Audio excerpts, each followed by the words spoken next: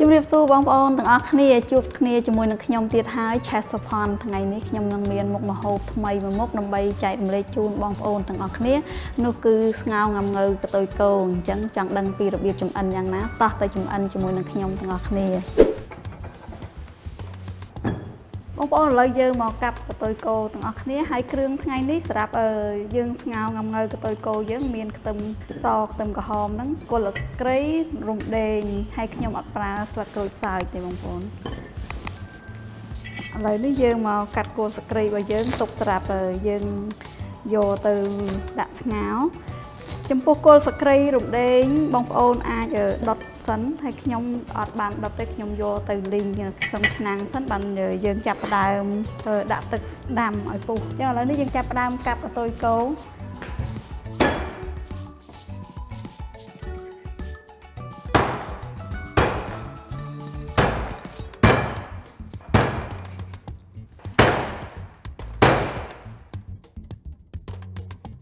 បងប្អូនបន្ទាប់ពីយើងកាប់សាច់គោយើងរួចហើយឥឡូវខ្ញុំចាប់ផ្ដើមស្រោសសិនបងប្អូនយើងស្រោសសាច់គោរបស់យើងឲ្យអស់ជាតិឈាមជាតិឆ្អាបតិចសិនទៅចាំយើងយកទៅស្ងោរបន្តទៀតពេលដែលទឹកពុះយើងបង់ចូលចឹងមកបងប្អូន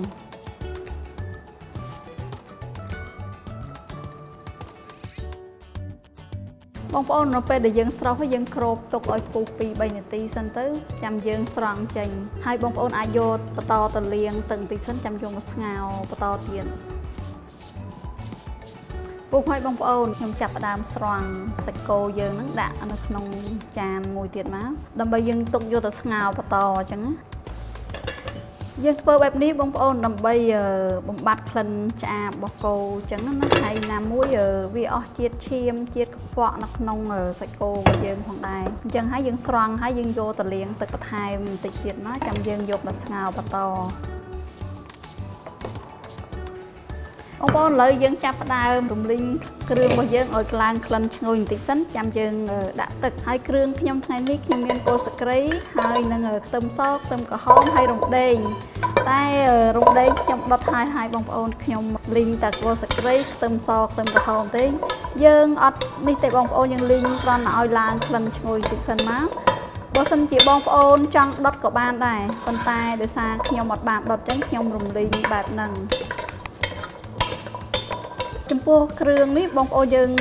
កូរឲ្យឡើងក្លិនឈ្ងុយប៉ុណ្ណឹងមកហើយយើងចាប់ដើមដាក់ដេងយើងចូលចឹងមកដេងដែលយើងដុតទុករួចហើយយើងដំឲ្យបែកហើយយើងដាក់ចូលចឹងមកបងប្អូនបន្ទាប់មកទៀតយើងចាក់ទឹក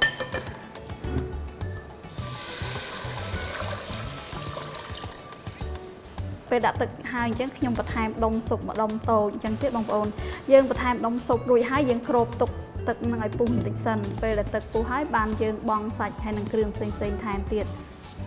ឃើញតែទឹកពុះហើយបងប្អូនអញ្ចឹងហើយឥឡូវនេះយើងចាប់ផ្ដើមដាក់សាច់គោរបស់យើងចូល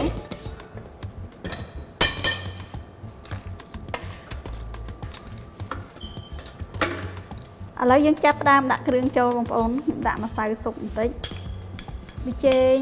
ស្ករសបងប្អូនប្រើស្ករត្នោតក៏បានដែរទឹកត្រីខ្ញុំអត់តន់ប្រើអំបិលទេណាបងប្អូនដោយសារញ៉ាំងៅយើង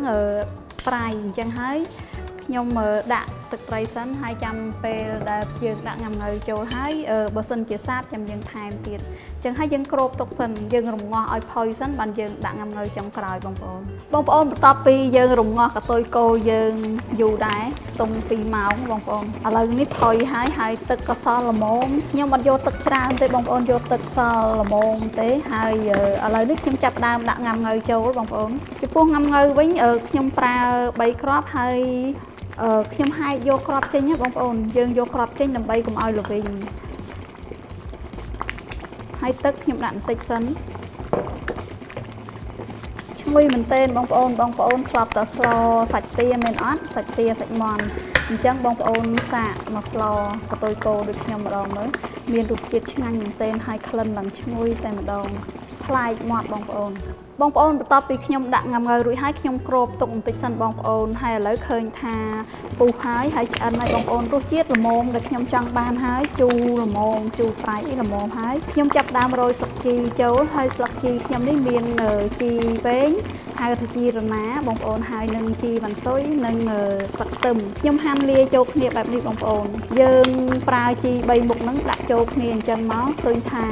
មានក្លិនឈ្ងុយមែនទែននៅក្នុងសម្លមួយមុខនេះហើយមានរសជាតិឆ្ងាញ់បងប្អូនកុំភ្លេចណាកុំចោលវ៉ាន់ស៊ុយចំពោះស្ងោរងងើកតុយគោបែបនេះគឺថាត្រូវមែនទែនឥ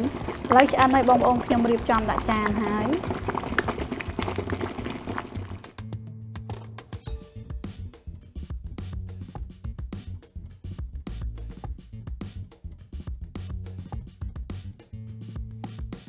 ឆ្អិនហើយបងប្អូនឃើញថាទំនងមែនទែនខ្ញុំសាកភ្លក់មួយសិនឆ្ងាញ់មែនទែនបងប្អូនដោយសារកតុយគោរបស់យើងផុយបានល្អហើយខ្ញុំចូលចិត្តជូរអញ្ចឹងហើយខ្ញុំដាក់ជូរឡើងដិតពេលអញ្ចឹងទៅត្រូវមាត់មែនទែនបើសិនជាបងប្អូនអត់តាន់ដែរចំអិនបែបនេះកតុយគោជាមួយនឹងងាំងៅបងប្អូនសាកល្បងចំអិនបានហើយបើសិនជាបងប្អូនចំអិនហើយមានរសជាតិបែបណាកុំភ្លេច comment នៅខាងក្រោមវីដេអូរបស់ខ្ញុំផងណា